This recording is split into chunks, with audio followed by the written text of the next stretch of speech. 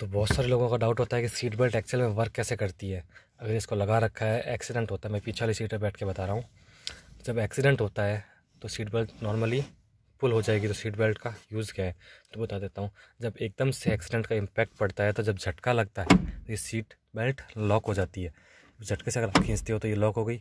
जो कितना भी खींचो, ये पुल नहीं होगी, आगे नहीं जाएगी। यानी आपको इस जगह पे लॉक कर देगी। और दोबारा अगर आप इसको रिलीज़ करते हो और फिर जेंटली खींचते हो तो ये आ जाएगा।